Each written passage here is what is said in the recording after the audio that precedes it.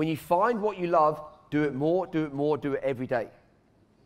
Hands up, you understand that the energy of the heart has to go into everything that you're doing in life. Otherwise, you're giving yourself a job. You're giving yourself a trade off. For I'll trade this time for this. Never trade your time. Invest your time. When you invest your time into the things that you do, honestly, like, I've got this cleaner at my house in London, and she goes around the house cleaning. She's got headphones on, she's singing away, she's dancing. And I, she, sometimes I just watch her, and I'm like, she's free.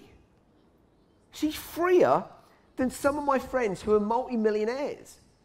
And I remember the first time I said to her, I said, What are you doing? She goes, well, I'm cleaning house. I said, No, you're not. You're freaking dancing like you're Madonna.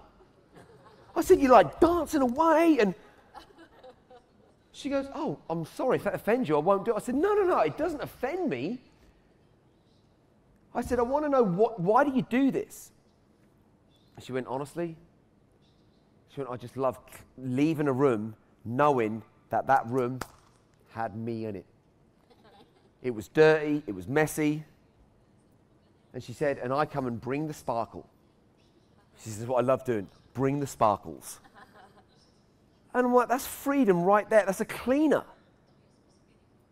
You can't, you can't not have respect for that. When she, now, is she working doing that? No. She's on a mission. Her mission is to walk in a room and make sure that when she leaves it. If you want to take your life up to the next level and beyond, then click the link to find out more about Supercharge Your Life and how these three days can literally show you how to have miracles breathe through you.